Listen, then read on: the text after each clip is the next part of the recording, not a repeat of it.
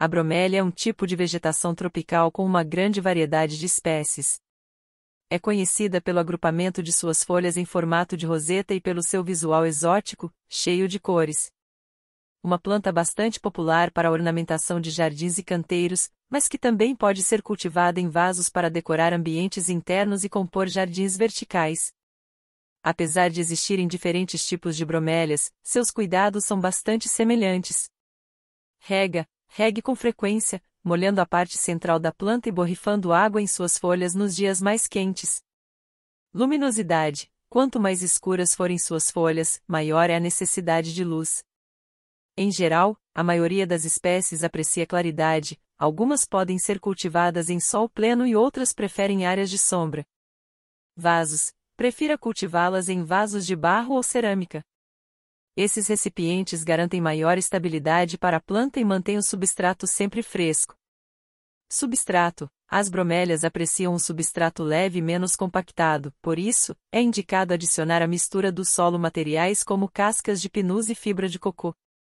Adubação: Para estimular o crescimento das folhas e flores, procure adubar a planta a cada 15 dias, com o NPK 4 e 14 e 8, adubo foliar ou com um produto específico para bromélias, Temperatura. Por serem plantas que apreciam calor e umidade, prefira cultivá-las em ambientes ventilados com temperatura entre 15 graus e 25 graus Celsius.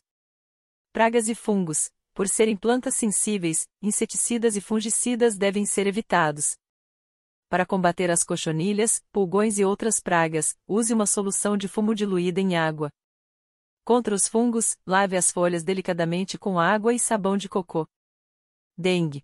Para evitar a proliferação do mosquito da dengue, adicione um pouco de pó de café em sua roseta central.